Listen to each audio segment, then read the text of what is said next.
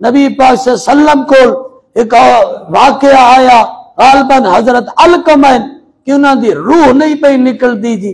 तो उन्होंने वालदा नाराज़ है, ते आपने फरमाया, राज़ी हो वजो से आख्या नहीं, इस बड़ा सताया है, बड़ा सताया है।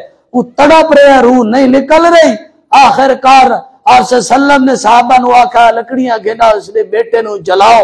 सुबह अल्लाह, ऐसा दिल अल्लाह ने माना बनाया जिथे गल सुनी इसके मेरी अखा के सामने मेरे पुत्र साड़िया वैसी तकलीफ़ हो सी। आखन लगी, सारे गम भुला दिते ना अपने पुत्र बेचे मैं माफ़ कर देता दसन वाले ने दसिया जो साबी रसूल दी जबान ते कलमा जारी है ते रूस दी आखिरकार के हो गई।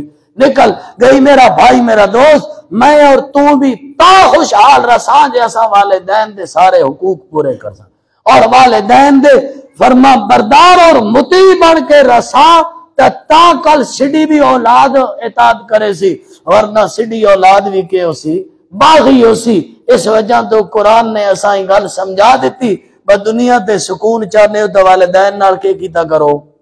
अच्छा सुनो।